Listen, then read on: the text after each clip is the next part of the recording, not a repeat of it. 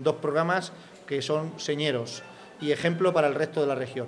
El primero es el contrato mm, a través de los planes de empleo, tanto para personas con discapacidad como para monitores que atiendan a esas personas con discapacidad, donde tiene coste cero para las organizaciones y nos permite en estos momentos eh, tener contratados a 120 personas en la provincia sin ningún coste para las entidades. Y el programa de eh, prácticas eh, preprofesionales, DIPU Capacita, que hemos hecho una experiencia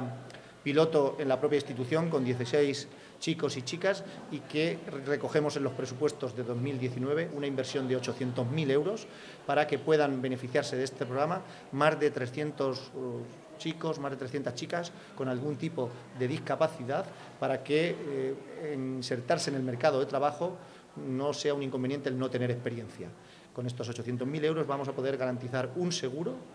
una gratificación y una actividad de prácticas preprofesionales durante seis meses a 300 jóvenes en todos los ayuntamientos de la provincia de Ciudad Real.